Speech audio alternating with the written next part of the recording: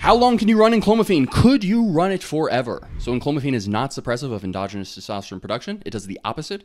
And based on the clomiphene studies, so clomiphene is the combination of enclomiphene plus zuclomiphene, but the enclomiphene is responsible for the testosterone boosting effects that we're interested in. In these studies, Clomiphene, therefore, we can assume enclomiphene essentially retains its effectiveness for up to three years, almost certainly longer if there were simply longer studies. Because of this, the only reason why it would be necessary to come off enclomiphene is to avoid side effects. Now, usually, relative to other PEDs, the enclomiphene side effects are much more conspicuous. So, enclomiphene, it isn't going to slowly and covertly destroy your organs. You're almost always going to notice the side effects. The side effects are usually related to estrogen imbalance. You know, too high estrogen or too low estrogenic activity in the brain are possible. Remember, enclomiphene is an estrogen antagonist in the hypothalamus.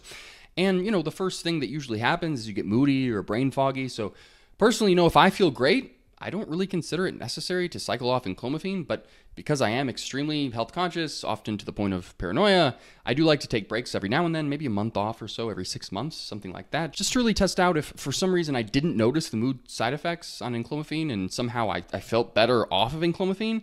Now, that never happened. I always feel better on enclomiphene because my testosterone is higher. But, you know, of course, the lower the dosage and the less time you're on it, the lower the probability of side effects are going to be. So, for all your supplement needs, that information you are looking for is in the Natty Plus cheat sheet in the description below.